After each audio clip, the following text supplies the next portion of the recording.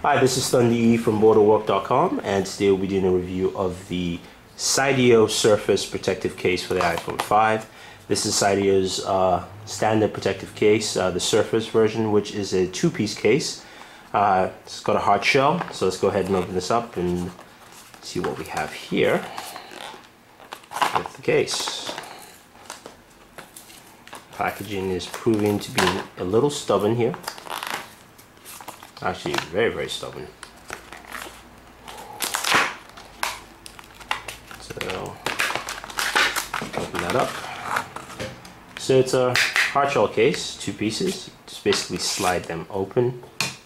You have some installation instructions. You can see it's got this nice soft velvet interior, so your iPhone rests nice and smooth. You don't get any scratches in the back either on with this case. So we take up the first part, the top, where you slide in your iPhone 5, and that fits right there.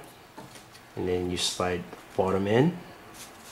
Now, I'm actually using this with the um, This is actually used with the protective uh, Spigen glass case on top and actually works pretty well. One second, let me just make sure this fits properly. There we go.